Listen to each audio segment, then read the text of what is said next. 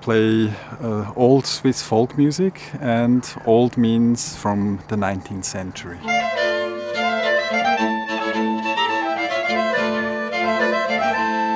My father played it, my grandfather played it.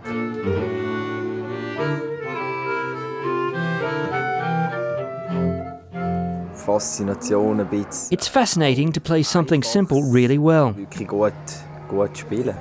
The band Hannelimusig plays traditional Swiss folk music, rediscovered in its original form just a few years ago.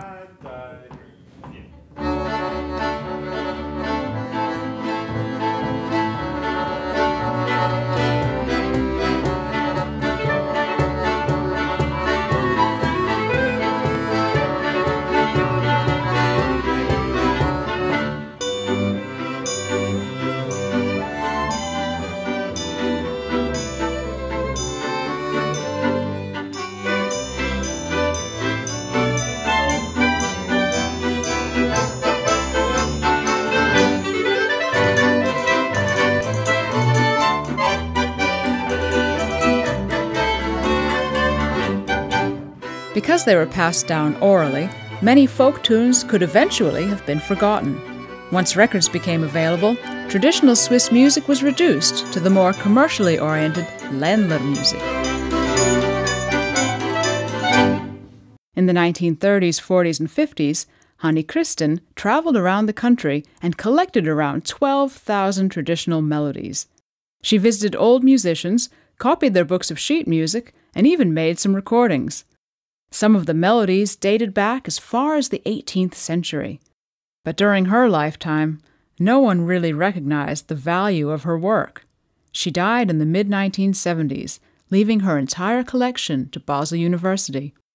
There it remained untouched for decades, stashed away in boxes. The musical treasure was rediscovered by composer Fabian Müller in the 1990s. We started uh, to prepare and to work at, on a publication, and this publication was published in uh, 2002 in 10 volumes and 5,000 pages.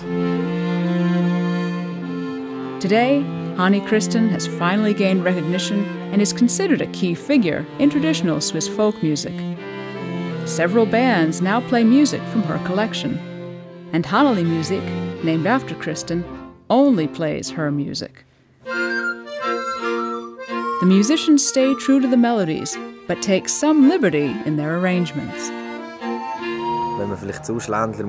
With Ländler music, you often hear the same instruments all evening long. We play several instruments, which produces different acoustic colours. Our arrangements are also quite varied, since each of our six musicians has his own style. I play traditionally, but uh, I use uh, uh, jazz changes, harmonies, and, and rhythms.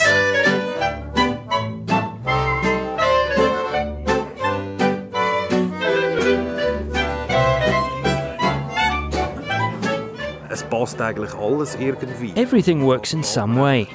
Even if we take some liberty with the arrangements, as soon as you play these traditional melodies on traditional instruments, it automatically sounds like folk music.